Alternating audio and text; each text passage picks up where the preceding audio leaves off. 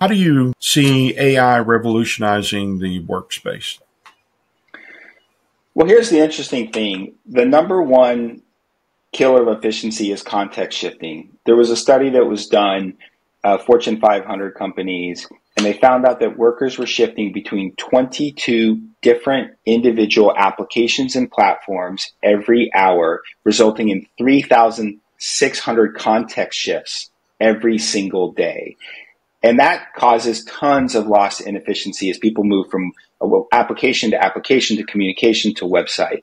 I think the real win here with AI is to be able to take that context shifting out, that people can have an, uh, an AI powered workspace where they can actually access all of those different applications in a much more seamless way through one interface, multiple applications. And that's going to take that context shifting away and make workers much, much more productive.